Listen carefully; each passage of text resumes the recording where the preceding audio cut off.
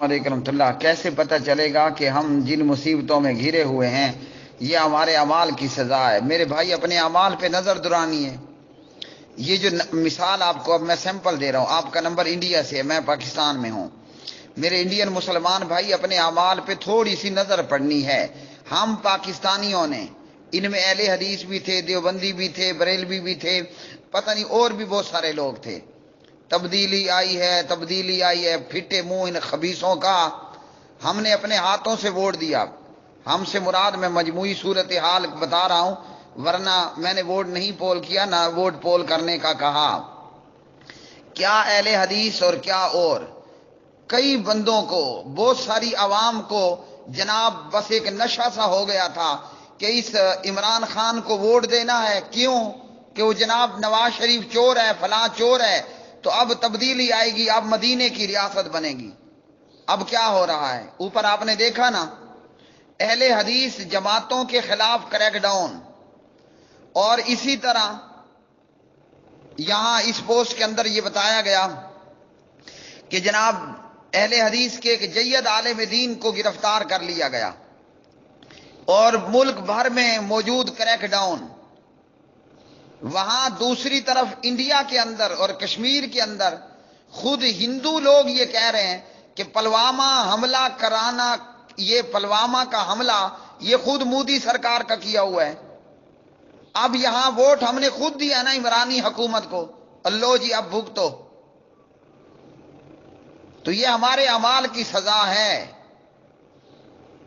کہ یہ قادیانی سپورٹڈ حکومت آج ملک میں موجود مدارس کے لیے مصیبت اور درد سر بن چکی ہے۔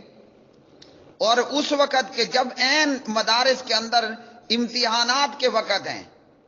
مدارس کے اندر سالانہ امتحانات کے دن چل رہے ہیں۔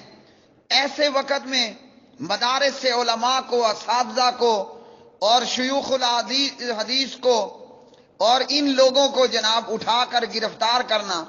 اور مدارس کو خالی کرا دینا اور بند کرا دینا۔ تو یہ ہمارے امال کی سزا ہے، یہاں سے ہم اندازہ لگائیں گے۔ ہم نے اپنے انگوٹھے سے عمران کو وزیر اعظم منتخب کیا۔ اور یہ خبیص جو آتے ہی قادیانیوں کو لے کر آ رہا ہے۔ اور اس طرح کی دیگر باتیں۔ آج مصیبت درد سر بن چکا مدارس کے لیے۔ یہ بھی تو شروعات ہے، آگے یہ کیا کرتا ہے؟ اللہ تعالیٰ اس خبیص کو یا تو ہدایت دے یا پھر اللہ تعالیٰ اس پر اپنی مار لگائے اور اپنی پھٹکار ڈالے کہ جو قرآن پڑھنے والوں کے خلاف کریک ڈاؤن کیے ہوئے ہیں۔ بندہ پوچھے، ستیانہ بنگلہ مرید کے، کیا ہم جا کر پلوامہ میں حملہ کرنے والے تھے کہ مساجد اور مدارس کے خلاف اس خبیص اور نامراد حکومت نے کریک ڈاؤن کے نام پر سراسر بے امنی اور بد امنی کا ماحول کریٹ کر دیا۔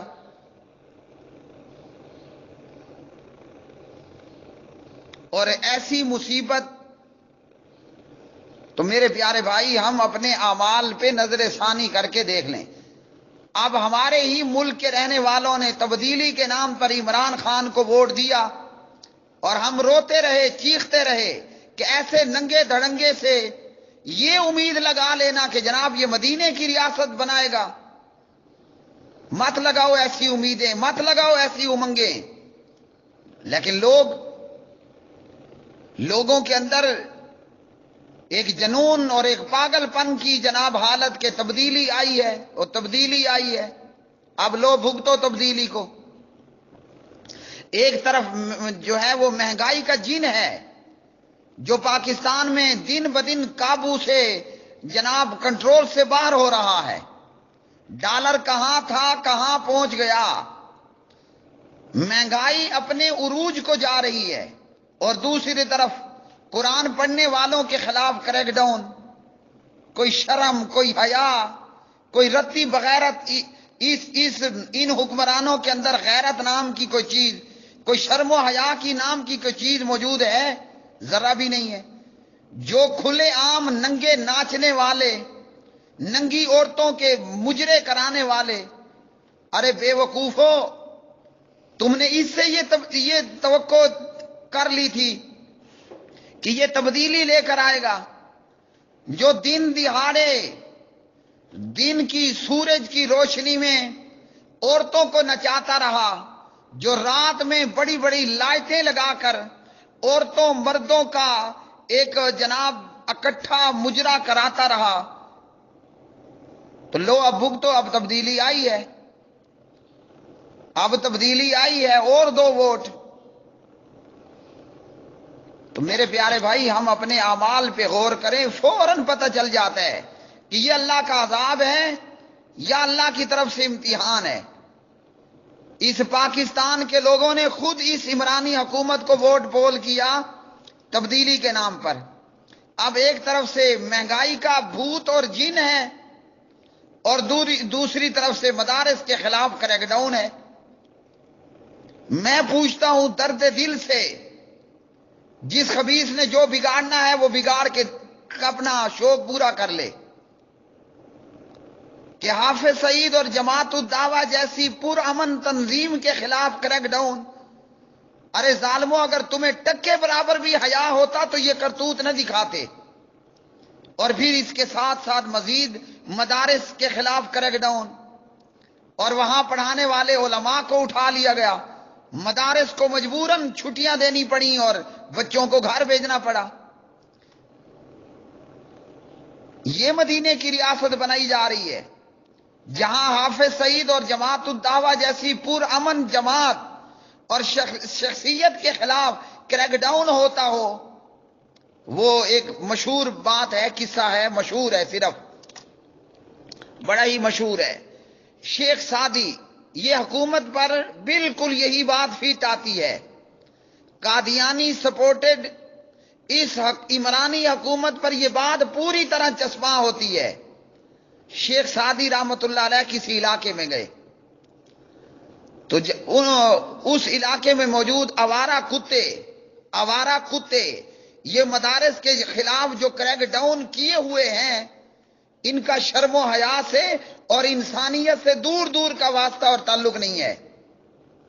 شیخ سادی کسی بستی اور علاقے میں گئے۔